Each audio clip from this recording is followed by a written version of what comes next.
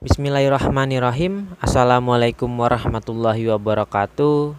Perkenalkan nama saya Hafid Ibnu Arasid Mahasiswa Pendidikan Olahraga Fakultas Ilmu Pendidikan Universitas Muhammadiyah Jakarta.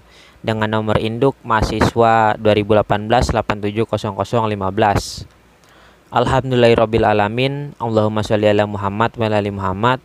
Pada kesempatan yang berbahagia kali ini dengan adanya saya di video ini dalam rangka memenuhi tugas mata kuliah organisasi dan sistem pertandingan olahraga yang diampu oleh eh, dosen yang bergelar dokter yaitu Dr. Taufik Yudi Mulyanto MPD yang mana beliau menugaskan saya mengenai NPC of Indonesia atau akronim dari National Paralympic Committee of Indonesia yang mana National Paralympic Committee of Indonesia ini merupakan suatu wadah organisasi yang menaungi seluruh olahraga disabilitas yang ada di Indonesia.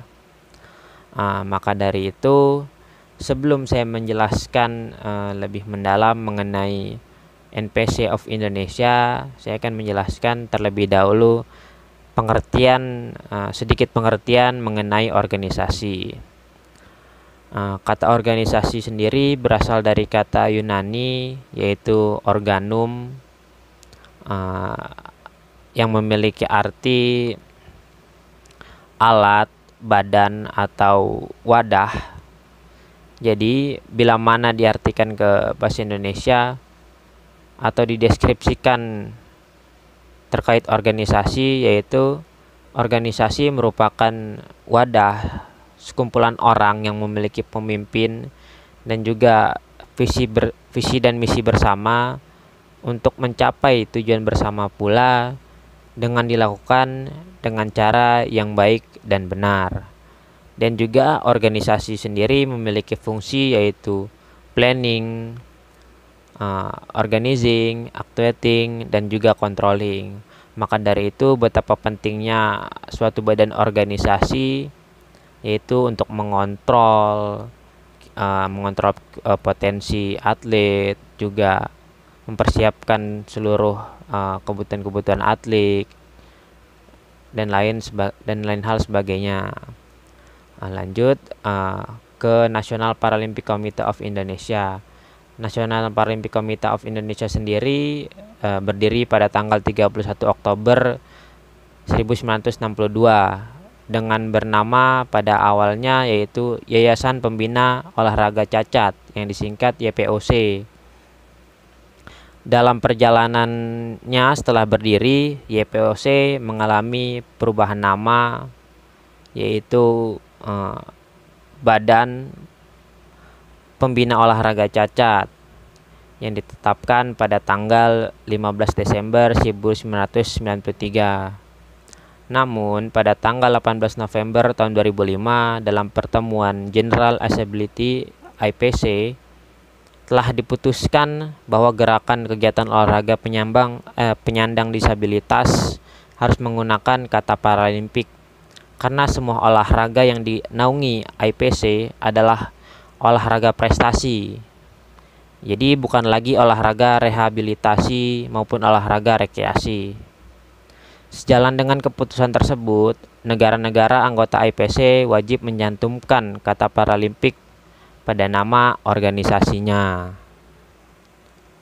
Uh, dan uh, sering berjalannya waktu, setelah pertemuan uh, yang diadakan oleh IPC, kemudian pada tanggal 30 Agustus tahun 2010 ditetapkanlah nama baru yaitu National Paralympic Committee of Indonesia yang disingkat NPC dengan sampai sekarang yaitu tetap bernama National Paralympic Committee of Indonesia.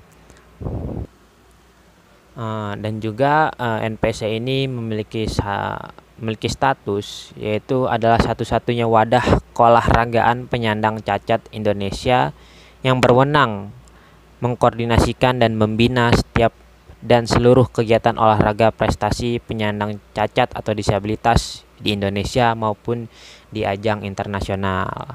Jadi eh, NPC sendiri memiliki fungsi yang pertama yaitu menggalang dan menjalin persatuan dan kesatuan antar insan olahraga penyandang disabilitas di Indonesia dan di internasional. Dan yang kedua, meningkatkan prestasi olahraga difabel di Indonesia. Yang ketiga, memberi perlindungan kepada anggota dan atlet penyandang disabilitas. Kemudian yang terakhir atau yang keempat, terkhususnya untuk pembinaan kesejahteraan, keadilan, dan juga kehormatan olahraga difabel. Nah, jadi itu saja yang bisa saya jelaskan mengenai National Paralympic Committee of Indonesia.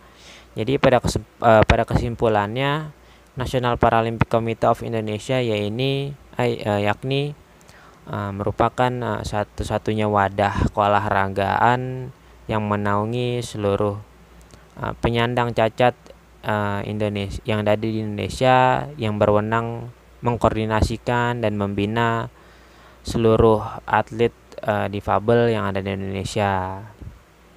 Jadi itu saja yang bisa saya jelaskan. Kesalahan datangnya dari saya, kebenaran hanyalah milik Allah. Bila bisa bilhaq pastapikul khairat. Wassalamualaikum warahmatullahi wabarakatuh.